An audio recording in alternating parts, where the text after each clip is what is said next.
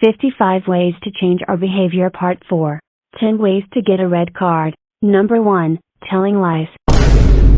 Number 2, Refusal to Cooperate. Number 3, Insolent slash shrewd behavior.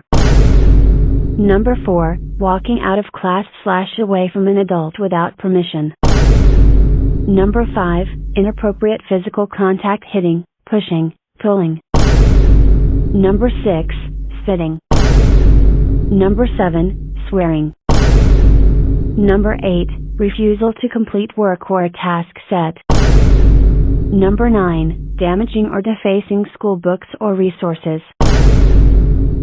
Number 10, Throwing objects in school. To be continued on Part 5.